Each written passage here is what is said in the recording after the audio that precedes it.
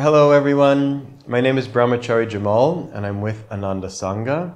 Ananda Sangha was started in 1969 by Swami Kriyananda in America. And the current worldwide directors, Nayaswamis Jyotishji and Devi Ji, will be visiting Kolkata, and they will be giving a program on September 18th at the ICCR auditorium. The program will start at 10 a.m. I'm here to invite you. Please come meet Jyotishji, Deviji. They are long-time disciples of Paramhansa Yogananda, and they will be speaking on the topic Finding Peace of Mind in an Unstable World.